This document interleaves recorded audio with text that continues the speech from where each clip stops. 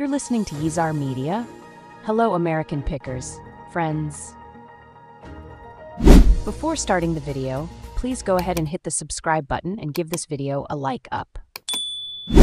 Since you essentially only look into crimes involving people you know, being a soap opera cop isn't easy. Chance is still giving Daniel a suspicious look this week, and that has the regrettable consequence of making him more visible to one individual. Floyd chuckles. He's about to tick off the one person you don't want to tick off, alluding to Daniel's erratic mother, Phyllis. The actor says that following Chance's brief stint in the corporate world, he's excited to get back to doing what he loves. Plus, he's looking forward to getting justice for Heather, someone he cared about. Doing so will, however, come at a price. He's catching heat from every angle and from everybody in town.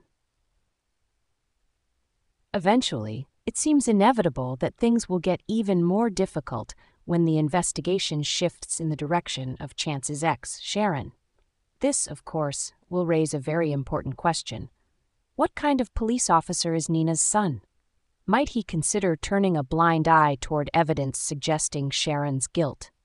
I wouldn't put it past him, admits Floyd. He's been in this situation before. Remember, he did throw Nick a bone during the Ashland Locke investigation.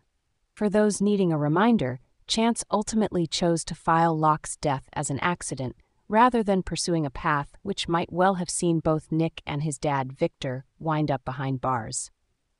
While Chance probably won't enjoy being on Phyllis's bad side, Floyd couldn't be more thrilled. I love working with Michelle Stafford, he enthuses. She's so unpredictable, and you never know what's going to happen next.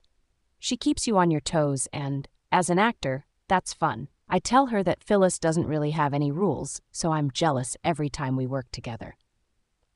He cautions that things are about to get really messy, and Chance will be right in the thick of it. With regard to Chance's investigation, view a photo gallery of pictures from Michelle Stafford's 30th Phyllisversary celebration to get a behind the scenes look at the party of the year. Thank you for watching this video. Please subscribe my YSR Media to our channel and stay with us.